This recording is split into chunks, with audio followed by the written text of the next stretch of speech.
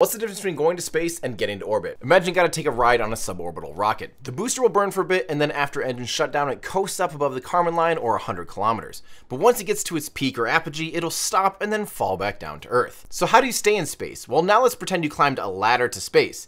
Then let's throw a ball at 30 meters per second. It'll fly sideways, but mostly end up just falling back down. Its trajectory actually makes an orbit around the center of the Earth. It just runs into the Earth first, and its lowest point or perigee is barely beyond the Earth's center. Let's shoot a pistol at 350 meters per second and a sniper rifle at 1400 meters per second. The sniper bullet flies a lot further, but gravity still pulls the bullet down, so they'll hit the atmosphere and eventually the ground. In order to stay in space, we need to reach a velocity of roughly 7500 meters per second, so our arc goes beyond the horizon and misses the atmosphere and the Earth. No gun will get anything that fast, and instead of doing it all in one instant, a rocket will continually accelerate for about 8 minutes, and since it gets above most of the atmosphere that would slow it down, it'll stay there for a very long time orbiting.